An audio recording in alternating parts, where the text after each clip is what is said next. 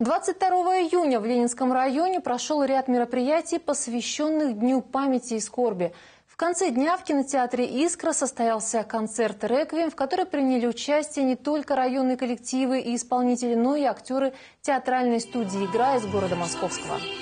Творческий коллектив представил видновчанам спектакль «Июнь-22». В нем прозвучали песни военных лет, а также стихи советских поэтов.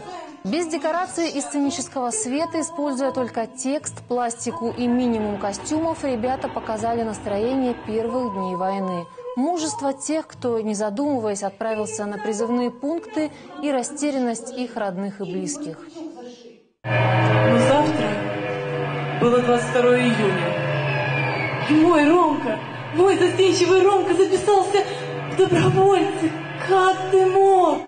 Театральная студия «Игра» не раз становилась лауреатом многих творческих фестивалей. Коллектив неоднократно выезжал со спектаклями в Болгарию, Францию, Словакию. Пришедшие в «Искру» зрители могли убедиться, что это актеры действительно высокого уровня. Создав живые собирательные образы мальчишек и девчонок 40-х годов, они очень ярко показали, что ощущали люди, которых внезапно вырвали из мирной жизни и отправили на войну.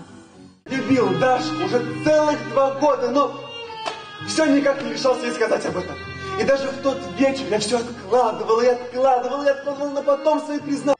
С особым мастерством ребята смогли передать и смутное ощущение большой беды, которая ворвалась в каждый дом, и обычный человеческий страх перед неизвестностью, и надежду на скорую победу. Спектакль «Июнь-22» входит в постоянный репертуар студии «Игра».